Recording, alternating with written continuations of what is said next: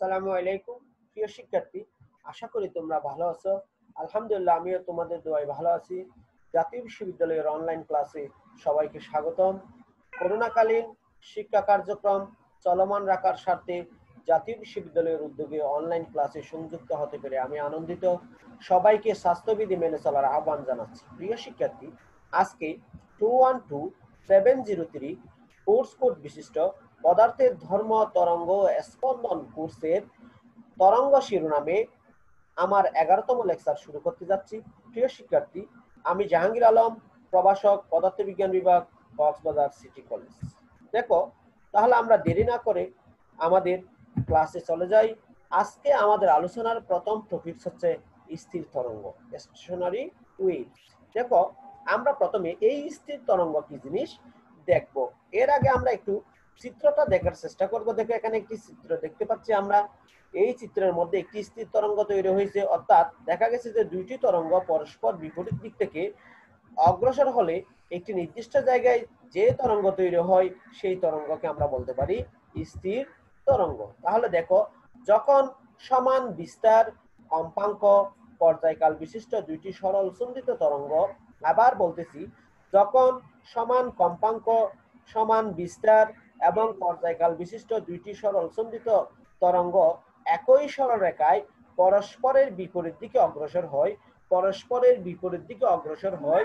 তবে তাদের উপরিপাতনের ফলে, তবে তাদের উপরিপাতনের ফলে লব্ধি তরঙ্গকে স্থির তরঙ্গ স্থির তরঙ্গ বলা হয়। আবার বলতেছি, যখন সমান বিস্তার, কম্পাঙ্ক এবং পর্যায়কাল বিশিষ্ট দুইটি সরল সন্ধিত তরঙ্গ একই সরলরেখায় পরস্পরের বিপরীত দিকে অগ্রসর হয়। তবে তাদের উপরিপাতনের ফলে প্রাপ্ত লব্ধি তরঙ্গকে স্থির তরঙ্গ বলা হয়। অন্য কথায় আমরা বলতে পারি, কোন সীমাবদ্ধ মাধ্যমে পরস্পর বিপরীতমুখী তরঙ্গের পর্যায়কাল ও বিস্তার সমান হলে তাদের মিলিত ক্রিয়ায় ওই অংশে যে নতুন তরঙ্গের সৃষ্টি হয় তাকে স্থির তরঙ্গ বলে। তাহলে আমরা স্থির তরঙ্গটা বুঝতে পেরেছি। এখন আমরা দেখব দেখো, মাধ্যমের বিভিন্ন অংশের চাপ ও ঘনত্ব পরিবর্তন, ঘনত্বের পরিবর্তন বিভিন্ন হয়। একটি মাধ্যমের বিভিন্ন অংশের চাপ এবং ঘনত্বের পরিবর্তন বিভিন্ন হয়। স্থির তরঙ্গগুলি মাধ্যমের মধ্যে স্থিরভাবে অবস্থান করে এবং সমান দূরত্বে কতগুলো স্থানে এদের সংকোচন ও প্রসারণ একবার অদৃশ্য, আবার দৃশ্যমান হয়। স্থির তরঙ্গ দুই প্রকারের হতে পারে। যথা অনুদৈর্ঘ্য স্থির তরঙ্গ এবং আর স্থির তরঙ্গ বা অনুপ্রস্থ স্থির তরঙ্গ। সংক্ষেপে আমরা বলতে পারি, মাধ্যমের কোন কণার উপর দুইটি তরঙ্গের উপরিপতনের ফলে স্থির তরঙ্গ সৃষ্টি হয়। অর্থাৎ সহজ পাশে আমরা বলতে পারি, মাধ্যমের কোন কণার উপর দুইটি তরঙ্গের উপরিপতনের ফলে কি তৈরি হয়? স্থির তরঙ্গের সৃষ্টি হয়। আমরা স্থির তরঙ্গের বৈশিষ্ট্যগুলি দেখব। ক্যারেক্টারিস্টিক্স অফ স্টেশনারি ওয়েভস দেখো ক নাম্বার, এই তরঙ্গে নিস্পন্দ বিন্দু ও সুস্পন্দ বিন্দু পর্যায়ক্রমে সৃষ্টি হয়। অর্থাৎ একটা নিস্পন্দ বিন্দু সৃষ্টি হলে এরপরে একটা সুস্পন্দন বিন্দু সৃষ্টি হবে। আবার নিষ্পন্দ বিন্দু আবার সুস্পন্দ বিন্দু নিষ্পন্দ বিন্দুতে মাধ্যমের কণাগুলো সাম্য অবস্থা থেকে শূন্য শূন্য বিস্তারে নিস্পন্দ বিন্দু থেকে সাম্য অবস্থানের থেকে শূন্য শূন্য বিস্তার অর্থাৎ বিস্তার শূন্য হয়ে যাবে এবং সুস্পন্দ বিন্দুতে বিস্তার সর্বোচ্চ স্পন্দিত হতে থাকে। আবার বলতেছি নিস্পন্দ বিন্দুতে বিস্তার সবসময় শূন্য হয় এবং সুস্পন্দ বিন্দুতে সর্বোচ্চ বিস্তারে স্পন্দিত হবে। খ নাম্বার, স্পন্দনের বিস্তার ক্রমান্বয়ে নিস্পন্দন বিন্দু থেকে সুস্পন্দন বিন্দুতে যথাক্রমে শূন্য থেকে সর্বোচ্চ মান উন্নীত হয়। অর্থাৎ এই যে বিস্তারগুলি ক্রমান্বয়ে নিস্পন্দন বিন্দু অর্থাৎ শূন্য থেকে শুরু হয়ে সর্বোচ্চ বিস্তার পর্যন্ত কি হয়? উন্নীত হয়। স্থির তরঙ্গে যেহেতু সংকুচিত প্রসারিত অংশ সম্মুখ দিকে অগ্রসর হয় না, সুতরাং শক্তির স্থানান্তর ঘটে না। আমি চিত্রটা আরেকটু দেখাচ্ছি। দেখো, এই যে এই লুপটা দেখে এখান থেকে এই এন ওয়ান থেকে এন টু লুপের মধ্যে। দেখো এন ওয়ান এবং এন টু হচ্ছে স্থির বিন্দু বা দুইটা হচ্ছে নিস্পন্দন বিন্দু এবং এ টু হচ্ছে সুস্পন্দন বিন্দু এখানে সর্বোচ্চ বিস্তার, এই দুইটাতে বিস্তার শূন্য। যেহেতু এখানে বিস্তার শূন্য, এই N one A two N two লুপের কণাগুলি এখান থেকে বার হয়ে অন্য লুপে যেতে পারে না। সুতরাং এই লুপের মধ্যেই তাদের কম্পন কি থাকে? সীমাবদ্ধ থাকে। আশা করি বুঝতে পারছ। এখন দেখো, সুতরাং শক্তির কখনো কি হবে না? স্থানান্তর ঘটবে না। ঘ নাম্বার, সংকুচিত ও প্রসারিত অংশ পর্যায়ক্রমে একই স্থানে দৃশ্যমান ও অদৃশ্যমান হয়। সংকুচিত ও প্রসারিত অংশ অবশ্যই একই স্থানে প্রথমে দৃশ্যমান হলে পরে অদৃশ্যমান হবে, অর্থাৎ পর্যায়ক্রমে দৃশ্যমান এবং অদৃশ্যমান হবে। দুটি পাশাপাশি নিস্পন্দ বিন্দুর মধ্যকার দূরত্বকে অর্ধ তরঙ্গ দৈর্ঘ্য দুইটি পাশাপাশি নিস্পন্দ বিন্দুর দূরত্ব, অর্থাৎ একটি নিস্পন্দ বিন্দু থেকে আরেকটি নিস্পন্দ বিন্দুর দূরত্ব হচ্ছে ল্যামডা বাই টু। অনুরূপভাবে দুটি সুস্পন্দ বিন্দুর মধ্যবর্তী দূরত্ব হচ্ছে ল্যামডা বাই টু। পাশাপাশি একটি নিস্পন্দ বিন্দু এবং একটি সুস্পন্দ বিন্দুর মধ্যবর্তী দূরত্ব হবে ল্যামডা বাই ফোর আবার বলতেছি, দুইটি সুস্পন্দন বিন্দু বা দুইটি নিস্পন্দ বিন্দুর মধ্যবর্তী দূরত্ব হচ্ছে ল্যামডা বাই টু আর একটি সুস্পন্দ বিন্দু এবং একটি নিস্পন্দ বিন্দুর মধ্যবর্তী দূরত্ব হচ্ছে ল্যামডা বাই ফোর আমরা বলছিলাম যে একটি সুস্পন্দন বিন্দুর পর একটি নিস্পন্দন বিন্দু আসে, আবার একটি সুস্পন্দন বিন্দু আসে। তাহলে দুইটি সুস্পন্দন বিন্দুর দূরত্ব যদি ল্যামডা বাই টু হয়, তাহলে তাদের মাঝখানে যেহেতু একটি নিস্পন্দন বিন্দু অবস্থান করে, সেহেতু নিস্পন্দন বিন্দু এবং সুস্পন্দন বিন্দুর মধ্যবর্তী দূরত্ব অবশ্যই ল্যামডা বাই ফোর হবে। এখানে ল্যামডা হচ্ছে তরঙ্গ দৈর্ঘ্য। ঠিক আছে, প্রিয় শিক্ষার্থী, আশা করি তোমরা স্থির তরঙ্গে এবং স্থির তরঙ্গের বৈশিষ্ট্য বুঝতে পারছ। আমরা এখন স্থির তরঙ্গের রাশিমালা প্রতিপাদন করব। এক্সপ্রেশন অফ স্টেশনারি ওয়েভ দেখো আমি এখানে চিত্রে একটি স্থির তরঙ্গ দেখাইছি। এই স্থির তরঙ্গের মধ্যে এ ওয়ান থেকে এ টু পর্যন্ত হচ্ছে তরঙ্গ দৈর্ঘ্য ল্যামডা। এ ওয়ান থেকে এ টু পর্যন্ত তরঙ্গ দৈর্ঘ্য ল্যামডা। এখানে দেখো দুইটি তরঙ্গ, একটি ডিরেক্ট কালো রেখা দ্বারা দেখানো হয়েছে, আর একটা ভাঙা ভাঙা রেখা দ্বারা দেখানো হয়েছে। কালো রেখাটা যদি এ ওয়ান থেকে এ টু এ ওয়ান থেকে এই যে এ ওয়ান এ থ্রি পথে যায়, তাহলে ভাঙা ভাঙা তরঙ্গটা এন থ্রি ইত্যাদি ইত্যাদি পথে যাচ্ছে, দেখো। তাহলে আমরা এখানে দেখতেছি যে দুইটি সমান এবং বিপরীত মুখী চলমান। দুইটি সমান বিস্তার, সমান কম্পাঙ্ক এবং সম তরঙ্গ দৈর্ঘ্য বিশিষ্ট দুইটি তরঙ্গ পরস্পর বিপরীত দিকে অগ্রসর হয়ে একটি একটি নতুন তরঙ্গ বা লব্ধি তরঙ্গের উদ্ভব ঘটায়, সেটাকে আমরা স্থির তরঙ্গ বলি। মনে করি, দৃঢ় কোনো বস্তুর সাথে একটি সুতার এক প্রান্ত শক্তভাবে আটকে অন্য একটি প্রান্ত, অন্য প্রান্তটি হাত দিয়ে টেনে ধরে টেনে ধরে ধরা আছে। এবার হাতে ধরা প্রান্তটিকে উপরে নিচে ঝাঁকুনি দিলে সুতার মধ্যে দিয়ে আর তরঙ্গ আটকানো প্রান্তের দিকে প্রবাহিত হবে। পরে এই প্রান্ত হতে তরঙ্গটি প্রতিফলিত হয়ে আবার পূর্বের দিকে ফেরত আসবে। এই পর্যায়ে পরস্পর বিপরীতমুখী দুটি তরঙ্গ পরস্পরের সাথে মিলিত হয়ে সুতার উপর একটি স্থির তরঙ্গমালার সৃষ্টি করে। মনে করি বা সুতায় N one N two N three ইত্যাদি বিন্দুগুলোর স্মরণ নাই। দেখো N one N two N three এগুলির এই বিন্দুগুলির কোনো স্মরণ দেখতেছি না। এই বিন্দুগুলির স্মরণ বা বিস্তার শূন্য। এইগুলিকে নিস্পন্দন বিন্দু বলে। আবার A two A one A two A three A one A two A three যে বিন্দুগুলি দেখতেছি, এগুলির কিন্তু স্মরণ ঘটতেছে। এই স্মরণটা দেখো, সাম্য অবস্থান থেকে সর্বাধিক স্মরণ সাম্য অবস্থান থেকে কি স্মরণ সর্বাধিক স্মরণ তাই এই বিন্দুগুলিকে সুস্পন্দন বিন্দু বলা হয়। মনে করলাম ক্যাপিটাল এক্স অক্ষের পজিটিভ দিকে অগ্রসরমান সচল তরঙ্গের সমীকরণ। সচল তরঙ্গ মানে হচ্ছে যে, সচল তরঙ্গ মানে হচ্ছে যে, অগ্রগামী তরঙ্গ। অগ্রগামী তরঙ্গের সমীকরণকে আমরা লিখতে পারি ওয়াই ওয়ান সমান A sine omega T minus X by B T minus কি? এক্স বাই ভি এখানে এ হলো তরঙ্গের বিস্তার, ওমেগা কৌণিক বেগ ভি হচ্ছে তরঙ্গের বেগ। তাহলে দেখো তাহলে এক চক্রের নেগেটিভ দিকে অগ্রসরমান অগ্রসরমান সচল তরঙ্গের সমীকরণ হবে ওয়াই টু সমান A sine omega T plus X by B যদি এক চক্রের ধনাত্মক দিকে A sine omega T minus X by B হয়, ঋণাত্মক দিকে হবে A sine omega T plus A sine omega into T plus X by B উপরিপাতনের নীতি অনুযায়ী, উপরিপাতনের নীতি অনুযায়ী এ দুটি তরঙ্গের জন্য কণার লব্ধি সরণ ওয়াই সমান Y one plus Y two Y সমান Y one plus Y two তাহলে দেখো, আমরা লিখতে পারি ওয়াই ওয়ানের মান হচ্ছে এ সাইন ওয়াই ওয়ানের মান হচ্ছে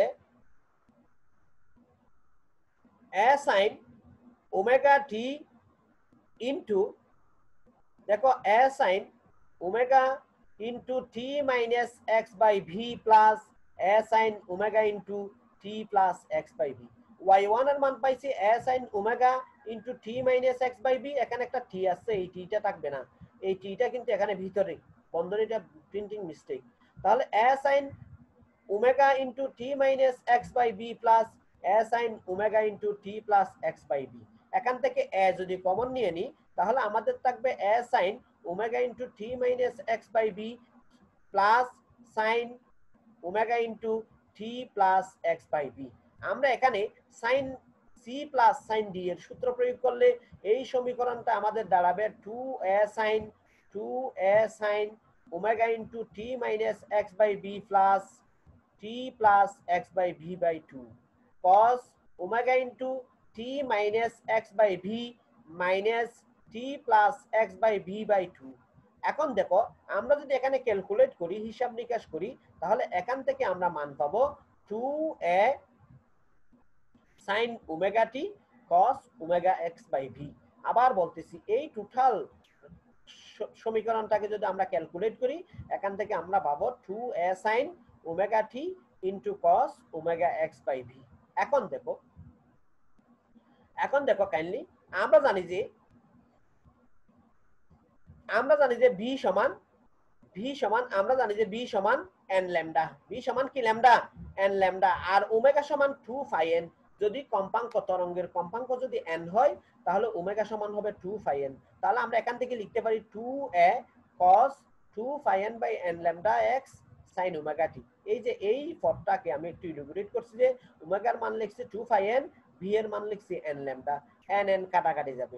এন এন কাটাকাটি গেলে বাকি থাকবে কি? Two phi two A cos 2 phi by lambda into x 2a cos 2 phi by lambda into x sin omega t এখন দেখো আমি যদি আমি যদি ক্যাপিটাল এ সমান 2a cos 2 phi by lambda x কল্পনা করি ক্যাপিটাল এ সমান 2 phi 2a cos 2 phi by lambda x কল্পনা করি তাহলে এই সমীকরণ থেকে আমরা পাবো y সমান y সমান a sin omega t a sin কি t omega টি, এটাকে এক নম্বর সমীকরণ দিলাম এবং ক্যাপিটাল এ সমান two A two A small A cos two five A lambda into X এটাকে দুই নম্বর সমীকরণ দিলাম। তাহলে দেখো, সমীকরণ এক থেকে দেখা যায় যে সমীকরণ এক ছিল ওয়াই সমান capital A sine omega T capital A sine omega T সমীকরণ এক থেকে দেখা যায় যে কণাটির দশা কোণ ওমেগা টি কণাটির দশা কোণ কি টি? ওমেগা টি সচল তরঙ্গের দশা কোণ সচল তরঙ্গের দশা কোণ দেখো, আমরা সচল তরঙ্গ পেয়েছিলাম কোথায়? এই যে এখানে সচল তরঙ্গ পাইছিলাম, এই সচল তরঙ্গের দশা কোণ পাইছিলাম? T plus X by B অথবা omega into T plus X by B অথবা omega into omega into T minus X by B কিন্তু এখানে যে তরঙ্গটি, লব্ধি তরঙ্গটি পাচ্ছি, সেই লব্ধি তরঙ্গের দশা কোণ পাইছি? ওমেগা টি সেই লব্ধি তরঙ্গের দশা কোণ পাইছি কত? ওমেগা টি তাহলে আমরা বলতে পারি সচল তরঙ্গের দশা কোণ omega into T plus minus X by B হতে এটি ভিন্ন। সমীকরণ দুই হতে বোঝা যায় যে নতুন তরঙ্গের বিস্তার এক্সের মানের উপর নির্ভরশীল। নতুন তরঙ্গের বিস্তার কার মানের উপর নির্ভরশীল? এই দেখো এক্সের মানের উপর নির্ভরশীল। যদি এক্স কম বেশি হয়, তাহলে নতুন তরঙ্গের বিস্তারও কি হবে? কম বেশি হবে। কিন্তু সচল তরঙ্গের বেলায় সকল বিন্দুরই বিস্তার সমান থাকে। সচল তরঙ্গের বেলায় সকল বিন্দুরই কি সমান ছিল? বিস্তার সমান ছিল। কারণ আমরা সচল তরঙ্গের ক্ষেত্রে আমরা পাইছিলাম যে ওয়াই সমান A sine omega T plus X by V অথবা ওয়াই সমান A sine omega T minus X by V প্রত্যেক ক্ষেত্রে বিস্তার ছিল স্মল এ কিন্তু এখানে ক্যাপিটাল এ এর মান হচ্ছে two phi cos two A two small A cos two phi by lambda into X X কিন্তু পরিবর্তনশীল রাশি। এক্স পরিবর্তনশীল রাশি হওয়ার কারণে ক্যাপিটাল এ এর মানও কি হবে? পরিবর্তন হবে। সেজন্য আমরা বলতে পারি যে দুই নং সমীকরণ থেকে বলতে পারি যে নতুন তরঙ্গের বিস্তার এক্সের উপর নির্ভরশীল। সমীকরণ দুই হতে এটাও স্পষ্ট যে, এটাও স্পষ্ট যে two phi x by lambda সমান two phi x by lambda সমান, দেখো two phi x by lambda এই যে এখানে two phi x by lambda এটা সমান আমরা লিখতে পারতেছি এখানে জিরো ফাই টু ফাই কেন জিরো ফাই টু ফাই দেখো, আমরা জানি যে কস্টিটার মান ওয়ান থেকে মাইনাস ওয়ান পর্যন্ত হতে পারে। এখানে যদি ওয়ান হয়, দেখো, এই জায়গায় যদি ওয়ান হয়, এই জায়গায় হবে মাইনাস ওয়ান এই জায়গায় যদি ওয়ান হয়, এই জায়গায় হবে মাইনাস ওয়ান তার মানে কস থিটার মান সর্বোচ্চ ওয়ান থেকে সর্বনিম্ন নামতে নামতে মাইনাস ওয়ান পর্যন্ত হতে পারে। এই ওয়ান এবং মাইনাস ওয়ান বিন্দুতে বিস্তার সর্বোচ্চ হয়। ওয়ান এবং মাইনাস ওয়ান মান যেখানে অবস্থান করে সেই ক্ষেত্রে বিস্তার সর্বোচ্চ হয়। কস জিরো ডিগ্রির মান ওয়ান কস একশো আশি ডিগ্রি বা ফাই এর মান মাইনাস ওয়ান কস তিনশো ষাট ডিগ্রি বা টু ফাই এর মান কত? ওয়ান এই জন্য এখানে এখানে এই যে কোনটা এই যে cos 2 phi by lambda x, এই শুধু 2 2 phi by lambda 2 phi x by lambda, এই কোনটার সাথে এখানে কি করা হয়েছে? সমীকৃত করা হয়েছে 2 phi x by lambda সমান 0 phi 2 phi dot dot dot এখানে যদি আমি x এর মান বের করি তাহলে ল্যামডা বাই টু ফাই দ্বারা গুণ করতে হবে। ল্যামডা বাই টু ফাই দ্বারা গুণ করলে বাম পাশের টু ফাই বাই ল্যামডা এবং ল্যামডা বাই টু ফাই চলে যাবে। এদিকে থাকবে zero, lambda by two two, lambda by two, ইত্যাদি ইত্যাদি বেলায় বিস্তার প্লাস মাইনাস টু এ হবে। ইত্যাদি এই সমস্ত বিন্দুতে, অর্থাৎ এক সমান জিরো বিন্দুতে এবং ল্যামডা বাই টু বিন্দুতে, টু, ল্যামডা বাই টু বিন্দুতে বা ইত্যাদি ইত্যাদি বিন্দুতে ক্যাপিটাল এ এর মান বা লব্ধি তরঙ্গের বিস্তার সর্বাধিক হবে। সুতরাং আমরা লিখতে পারি two five X by lambda সমান টু আবার আবার দেখো, আবার আমরা দেখতেছি যে এই যে এন বিন্দুতে এন বিন্দুতে বিস্তার শূন্য এন এখানে এন বিন্দুতে বিস্তার শূন্য। অর্থাৎ কস জিরো ডিগ্রির মান সরি কস কস টিটার মান যদি জিরো হয় কস টিটার মান যদি জিরো হয়, সেই ক্ষেত্রে বিস্তার শূন্য হয়ে যাবে। কেমনে দেখো, এই যে আমরা এখানে এ সমান two A cos two five A lambda এই কস টিটার মান যদি cos two five A lambda into এক্সের মান যদি শূন্য হয়, তাহলে এই ডান পাশ পুরোটাই শূন্য হয়ে যাবে, অর্থাৎ এ সমান জিরো হয়ে যাবে। এ সমান জিরো মানে নিষ্পন্দ বিন্দু।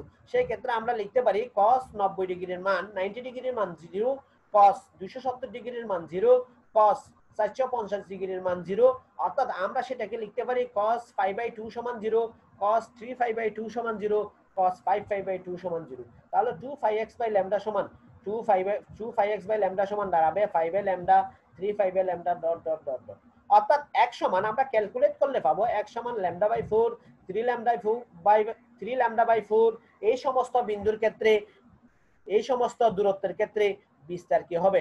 শূন্য হবে। এই সমস্ত বিন্দুর ক্ষেত্রে বিস্তার শূন্য হবে। তাহলে আমরা বলতে পারি, যে সকল বিন্দুতে এ সমান প্লাস মাইনাস টু এ, যে সকল বিন্দুতে এ সমান প্লাস মাইনাস টু এ, সে সকল বিন্দুতে, সে সকল বিন্দুতে বিস্তার সর্বাধিক হয়। অর্থাৎ সে সকল বিন্দুকে স্পন্দন বিন্দু বলব, আর যে সকল বিন্দুতে সমান জিরো হবে সেই সকল বিন্দুতে বিস্তার সর্বনিম্ন হয় এবং সেই সকল বিন্দুকে বলব নিস্পন্দ বিন্দু। সুতরাং বলতে পারি উপরে উল্লিখিত তরঙ্গটি সচল তরঙ্গ নয়। উপরে উল্লেখিত অর্থাৎ এই তরঙ্গটি সচল তরঙ্গ নয়, এটি একটি স্থির তরঙ্গ। এটি একটি কি তরঙ্গ? স্থির তরঙ্গ। আশা করি তোমরা স্থির তরঙ্গ, স্থির তরঙ্গের বৈশিষ্ট্য, স্থির তরঙ্গের গাণিতিক রাশিমালা এবং স্পন্দ বিন্দু ও নিস্পন্দ বিন্দু মোটামুটি ভালো করে বুঝতে পেরেছ। বুঝতে পেরেছ কিনা? দেখো এখন আমরা সুস্পন্দ বিন্দু নিয়ে আরও একটু বিস্তারিত আলোচনা করব। দেখো, যে সকল বিন্দুতে লব্ধি বিস্তার সর্বোচ্চ, যে সকল বিন্দুতে লব্ধি বিস্তার সর্বোচ্চ, অর্থাৎ এ সমান প্লাস মাইনাস টু এ সে সকল বিন্দুতে সুস্পন্দন বিন্দু তৈরি হয়। আমরা কিছুক্ষণ আগেই আলোচনা করছি।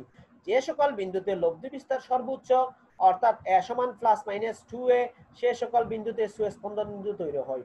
অর্থাৎ যে সকল বিন্দুতে cos two five by lambda এক সমান প্লাস মাইনাস ওয়ান হয়, সে সকল বিন্দুতে সুস্পন্দন বিন্দু তৈরি হয়। আমরা সেটা কিছুক্ষণ আগে আলোচনা করছি কিন্তু। তাহলে আমরা এখান থেকে লিখতে পারি two five X by lambda সমান zero five two five dot dot dot dot N five N সমান হচ্ছে জিরো ওয়ান টু থ্রি ইত্যাদি ইত্যাদি ইত্যাদি তাহলে এখান থেকে যদি ক্যালকুলেট করি বা ল্যামডা বাই টু ফাইভ দ্বারা গুণ করি, তাহলে এক সমান পাবো zero lambda by two two lambda by two dot dot dot dot N lambda by two যেখানে এন সমান জিরো ওয়ান টু থ্রি এই সকল বিন্দুতে বিস্তার সর্বাধিক হয়, তাই এই সমস্ত বিন্দুগুলিকে বলা হয় সুস্পন্দন বিন্দু। আর নিস্পন্দন বিন্দুর ক্ষেত্রে যে সকল বিন্দুতে বিস্তার সর্বনিম্ন, অর্থাৎ ক্যাপিটাল এ এর মান জিরো হবে, সে সকল বিন্দুতে নিস্পন্দন বিন্দু তৈরি হবে, বা সে সকল বিন্দুকে নিস্পন্দন বিন্দু বলা হবে। অর্থাৎ যে সকল বিন্দুতে cos 2 phi x by lambda সমান জিরো হবে, সে সকল বিন্দুতে নিস্পন্দন বিন্দু তৈরি হবে। দেখো এই ক্ষেত্রে আমরা লিখতে পারি, এই যে এটা যেভাবে লিখছিলাম সেভাবে এখান থেকে আমরা লিখছিলাম two five X by lambda সমান zero five two five dot dot N five তাহলে আমরা ঠিক একইভাবে এখান থেকে লিখতে পারি two five X by lambda সমান ফাইভ বাই টু কারণ আমরা জানি যে কস নাইনটি ডিগ্রির মান zero three five by two আমরা জানি যে কস টু সেভেন্টি ডিগ্রির মান zero cos five five by two আমরা জানি যে কস চারশো পঞ্চাশ ডিগ্রির মান জিরো ডট ডট ডট এই বীজীয় রাশিগুলিকে এভাবে লেখা যায় টু এন প্লাস ওয়ান দেখো, যদি এন সমান ওয়ান হয়, তাহলে টু এন প্লাস ওয়ান সমান হবে থ্রি দুই একে দুই দুই আর একে যোগ করলে তিন, অর্থাৎ থ্রি ফাইভ বাই ল্যামডা যদি এন সমান জিরো হয়, তাহলে ফাইভ বাই ল্যামডা যদি এন সমান থ্রি হয়, তাহলে সেভেন ফাইভ বাই ল্যামডা যদি এন সমান টু হয়, তাহলে টু ফাইভ বাই ল্যামডা এখানে এন সমান zero one two three calculate করলে আমরা পাবো এক সমান lambda by four three lambda by four five by four dot dot dot two N plus one into lambda by four এই সমস্ত বিন্দুগুলিতে বিস্তার শূন্য হয় বিদায়। এই সমস্ত বিন্দুগুলোই নিস্পন্দন বিন্দু। এই সমস্ত বিন্দুগুলি কি বিন্দু? নিস্পন্দন বিন্দু।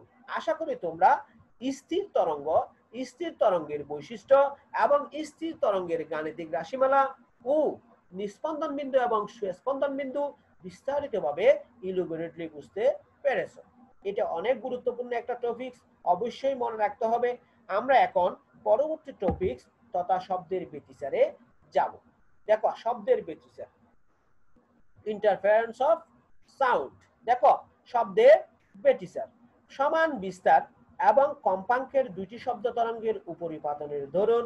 সমান বিস্তার কাইন্ডলি একটু মনোযোগ দিয়ে শুনবা। সমান বিস্তার এবং কম্পাঙ্কের দুটি শব্দ তরঙ্গের উপরিপাতনের ধরুন। এখানেও কিন্তু পরিপাতন ঘটতে হচ্ছে। স্থির তরঙ্গ কিন্তু পরিবর্তন ঘটছিল।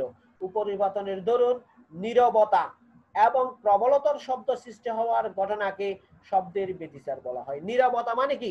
আওয়াজ শোনা যাবে না, শব্দ শোনা যাবে না। প্রবলতা মানে কি? অনেক বড় আকারে শব্দ শোনা যাবে।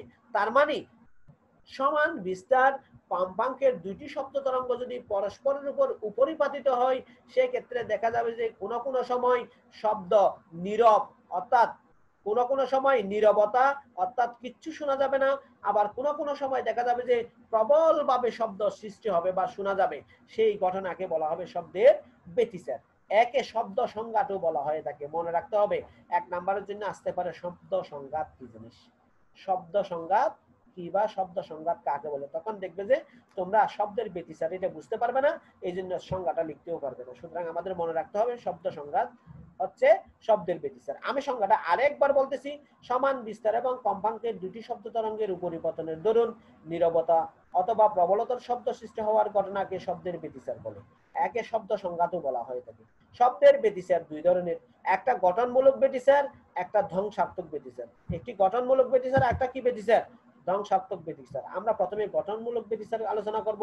দেখো, গঠনমূলক বেতিচার দুইটি ক্ষেত্রে হয়, আর তরঙ্গের ক্ষেত্রে এবং লম্বিক তরঙ্গের ক্ষেত্রে। আমরা অনুপ্রস্থ তরঙ্গ পেয়েছিলাম, অনুদৈর্ঘ্য তরঙ্গ পেয়েছিলাম।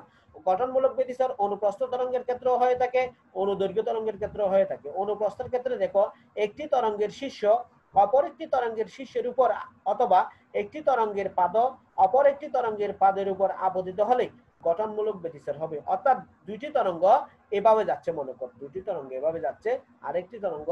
যদি এই শীর্ষবিন্দুতে আরেকটি শীর্ষবিন্দু মিলিত হয় বা একটির পাদবিন্দুতে অপরটির পাদবিন্দু মিলিত হয়, তবে সেই ক্ষেত্রে যে বেতিচার হবে সেটা গঠনমূলক বেতিচার আর তরঙ্গের ক্ষেত্রে অথবা লম্বিক তরঙ্গের ক্ষেত্রে আমরা দেখব একটি তরঙ্গের সংকুশন অংশ অপর একটি তরঙ্গের সংকুশন অংশের সাথে এবং অথবা একটি তরঙ্গের প্রসারণ অংশ অন্য একটি তরঙ্গের প্রসারণ অংশের উপর আপতিত হলে, দেখো আমরা জানি যে লম্বিক তরঙ্গ সংকুশন প্রসারণের মাধ্যমে সামনে গতিশীল হয়। তাহলে সংকুশনের সাথে যদি সংকুশন মিলিত হয় বা প্রসারণের সাথে যদি প্রসারণ মিলিত হয় সেই ক্ষেত্রে যে তরঙ্গে যে ব্যতিচার সৃষ্টি হয়, সেটা হবে লম্বিক তরঙ্গের ক্ষেত্রে গঠনমূলক ব্যতিচার। এবার আমরা ধ্বংসাত্মক ব্যতিচার দেখব। শব্দের ব্যতিচারে আদৌ কোনো শব্দ উৎপন্ন হয় না। শব্দের ব্যতিচারে আদৌ কোনো শব্দ উৎপন্ন না হলে তাকে শব্দের ধ্বংসাত্মক ব্যতিচার বলা হয়। যদি শব্দ উৎপন্ন না হয় ব্যতিচার ঘটার কারণে তখন তখন সেটাকে আমরা বলব ধ্বংসাত্মক ব্যতিচার। এটাও দুই ক্ষেত্রে হয়ে থাকে, একটা আর তরঙ্গের ক্ষেত্রে আর একটা লম্বিক তরঙ্গের ক্ষেত্রে।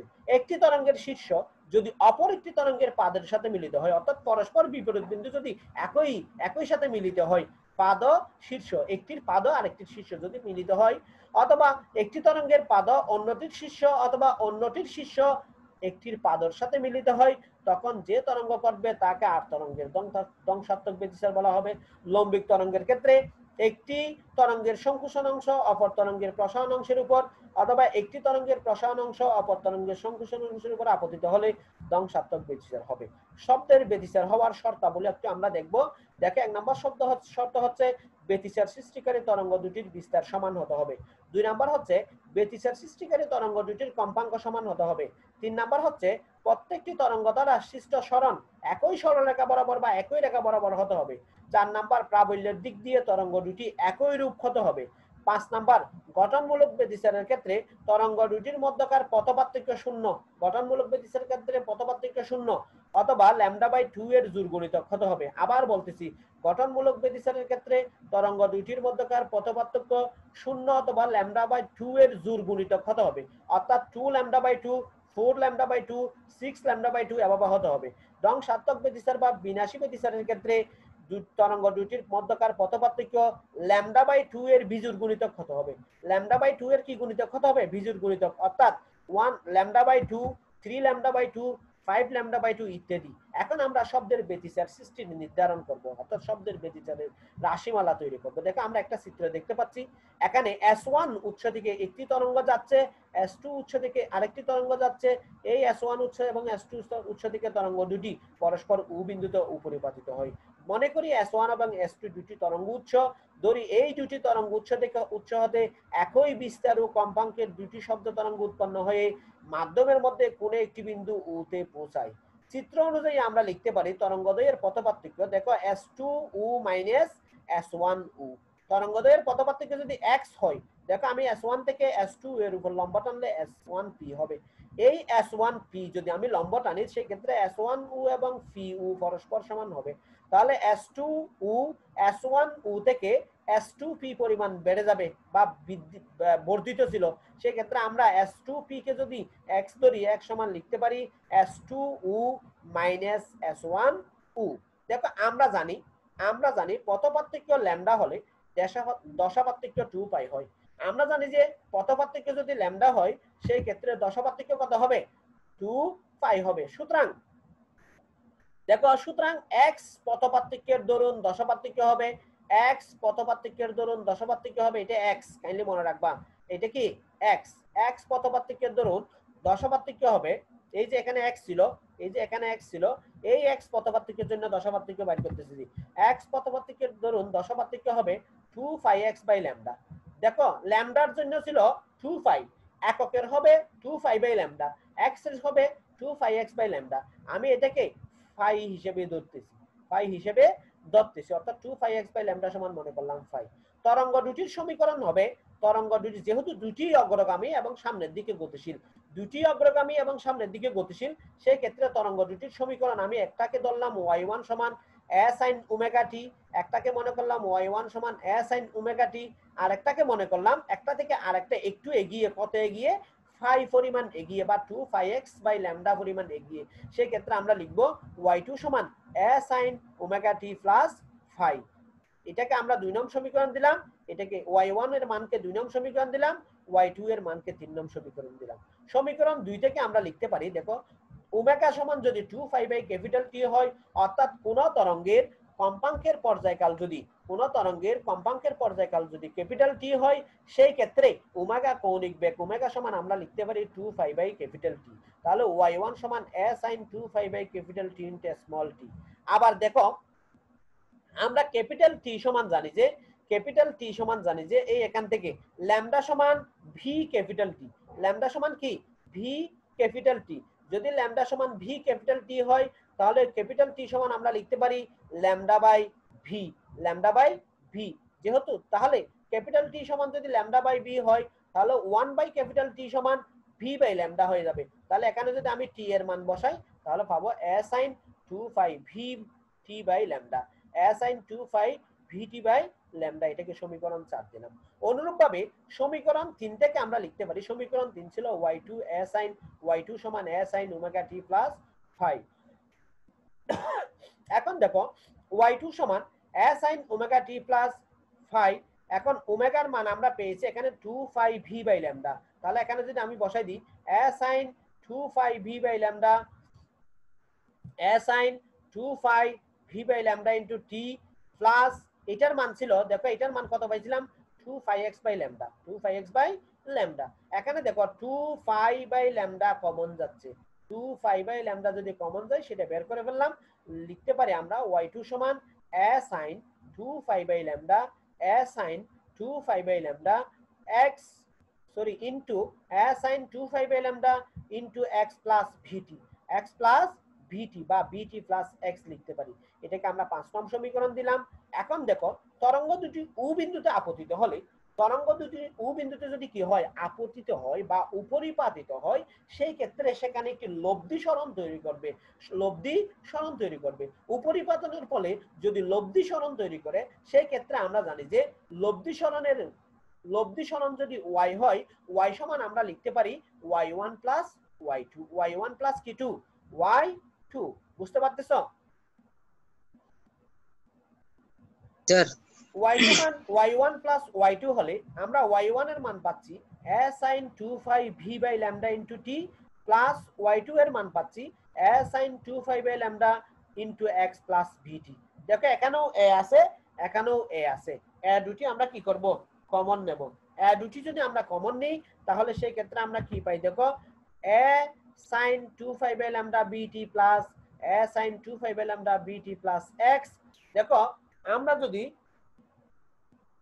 আমরা যদি এখানে, তাহলে এখানে যদি আমি এটা কমন নিয়ে নিই, তাহলে এখানে থাকবে two five A lambda B T plus two five A lambda V T plus X এখন দেখো, তাহলে সাইন এখানে আমরা একটা সমীকরণ পাচ্ছি কমন নেওয়ার পর একটা সমীকরণ পাচ্ছি, এই সমীকরণটা হবে sine two five A lambda B T plus sorry একটি একটি ত্রিকোণমিতিক সূত্র পাচ্ছি, যেটা হচ্ছে sine two five A lambda B T plus sine two five A lambda B T plus x আমি যদি two five A lambda V T সমান ক্যাপিটাল এ কল্পনা করি এবং two five a lambda VT plus x সমান capital B কল্পনা করি, তাহলে সূত্র, সূত্রটা দাঁড়াবে এরকম sine A plus sine B আমরা জানি যে sine A plus sine B সমান two sine two sine A plus B by two into cos A minus B by two তাহলে এখান থেকে আমরা লিখতে পারি two A sine two five A lambda কারণ টু ফাইভ এ ল্যামডা সবখানেই আছে এই জন্য কমন নিয়ে নিলাম। এখানে ভিটি মানে বিটি প্লাস এখানে বি মানে বিটি প্লাস এক্স ছিল তাহলে আমার থাকবে B T plus B T plus x by two cos two five A lambda আমরা আগের মতন এই দুইটা টার্ম থেকে two five A lambda common নিলাম এটা বিয়োগ এটা হবে V T minus V T minus V T plus x minus দিয়ে বিটি প্লাস এক্স কে গুণ করলে আমরা পাবো V T minus V T minus x B T B T চলে যাবে তাহলে আমরা এখানে পাবো টোটাল দেখো বিটি মাইনাস বিটি মাইনাস এক্স বাই টু এখান থেকে আমরা ফরের ফরের লাইনে আমরা লিখতে পারতেছি two sine two five a lambda দেখো, এখানে বিটি বিটি যোগ করলে টু বিটি তাহলে টু বিটি প্লাস এক্স হতো। এটাকে যদি আমি একটু সেপারেট করে ফেলি, তাহলে লিখতে পারতাম two BT by two plus x by two two BT by two মানে হচ্ছে VT plus x by two cos two five a lambda এখানে বিটি বিটি চলে গেলে মাইনাস এক্স বাই টু আসবে। মাইনাস কি বাই টু আসবে? এক্স বাই টু আসবে। কিন্তু এখানে মাইনাস লিখে নাই, দেখো। কেন মাইনাস লিখে নাই? কারণ আমরা জানি যে কস মাইনাস টিটা সমান কস টিটা কস মাইনাস টিটা সমান কি জানি? কস টিটা এই জন্য সরাসরি লিখছে, সুতরাং এই লাইনটাকে আমরা আবার পড়তে পারি। Two A sine two five a lambda BT plus x by two into cos two five a lambda x by two এখন দেখো এ সাইন আমি যদি আমি যদি two A cos 2 5 by lambda into x by 2 কে আবার বলতেছি 2 small a cos 2 5 by lambda into x by 2 কে ক্যাপিটাল a ধরি, সেই ক্ষেত্রে এখান থেকে লিখতে পারি a sin 2 5 by lambda vt plus x by 2 এটাকে সমীকরণ 6 দিলাম। এই সমীকরণ 6 হচ্ছে সরল দুলগতির সমীকরণ। কিসের সমীকরণ? সরল দুলগতির সমীকরণ। এবং এ হচ্ছে এই এই এই গতির সমীকরণটির বা এই তরঙ্গটির বিস্তার এখানে এ ধরছিলাম কত? 2 small a cos 2 5 by lambda into x by 2 এই সমীকরণ অনুযায়ী লব্ধি তরঙ্গের বিস্তার হচ্ছে ক্যাপিটাল A সমান 2 small a cos 2 5 by lambda into x by 2 এটা হচ্ছে সমীকরণ 7 দেখে এখানে লব্ধি তরঙ্গের বিস্তার পথপার্থক্য x এর উপর নির্ভরশীল কিনা? পথপার্থক্যের x এর উপর কি করতেছে? বিস্তারটা নির্ভর করতেছে। সুতরাং আমরা লিখতে পারি যখন cos 2 5 by lambda into x by 2 cos 2 5 by lambda into x by 2 সমান প্লাস মাইনাস 1 হবে।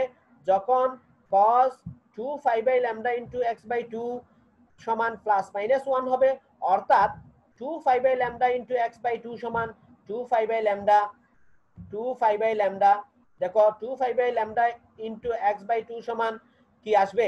Zero five two five dot dot n হবে। এখানে এই মাঝখানে টু ফাইভ বাই ল্যামডাটা হবে না।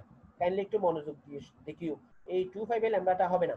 Two five by lambda into x by two সমান যদি zero five two five dot dot n five হয়, তবে সেই ক্ষেত্রে আমরা ক্যালকুলেট করলে এক সমান পাবো zero into sorry zero comma two lambda by two comma four lambda by two comma dot dot dot two n lambda by two এখানে এন সমান হচ্ছে জিরো ওয়ান টু থ্রি তখন লব্ধি তরঙ্গের বিস্তার কি হবে? সর্বাধিক হবে। অর্থাৎ এক সমান zero two lambda by two four lambda by two ইত্যাদি বিন্দুতে বিস্তার সর্বোচ্চ হবে এবং এই বিস্তারের মান হবে এ সমান প্লাস মাইনাস টু এ সমান প্লাস মাইনাস টু এ সুতরাং এই পর্যায়ে গঠনমূলক ব্যতিচার সৃষ্টি হবে। এই পর্যায়ে কোন মূলক ব্যতিচার সৃষ্টি হবে? গঠনমূলক ব্যতিচার সৃষ্টি হবে। যদি গঠনমূলক ব্যতিচার সৃষ্টি হয়, সেই ক্ষেত্রে আমরা দেখতে পারি, দেখো সেই ক্ষেত্রে আমরা কি দেখতে পারি?